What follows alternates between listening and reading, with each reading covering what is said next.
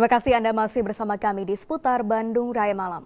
Pemirsa Satuan Lalu Lintas Polres Bandung meminta kepada Dinas Pekerjaan Umum agar segera memperbaiki beberapa ruas jalan yang rusak di Kabupaten Bandung.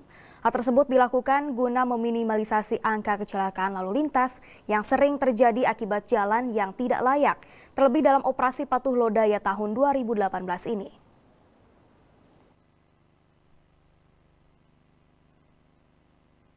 Kasat Lantas Polres Bandung AKP Doni Eko Wicaksono mengungkapkan untuk mendukung suksesnya operasi Patuh Lodaya tahun 2018, pihaknya telah berkoordinasi dengan Dinas Pekerjaan Umum Kabupaten Bandung agar segera memperbaiki beberapa titik ruas jalan yang rusak. Titik tersebut berada di wilayah Banjaran, Pamengpek, Bale Endah, Bojong Soang, Majalaya, Ciparai, Cilenyi, dan Ranca Ekek. Perbaikan jalan tersebut dianggap sangat penting guna menekan dan meminimalisir angka kecelakaan yang diakibatkan rusaknya jalan di wilayah Kabupaten Bandung, khususnya selama operasi patuh lodaya berlangsung.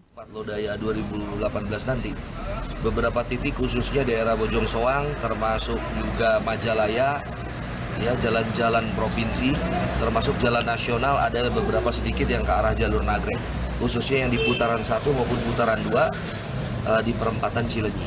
Kita sudah ketemu uh, dan berdiskusi dengan dinas PU uh, eh, Kabupaten Bandung termasuk ke Satker PPK 4 uh, Kementerian PU.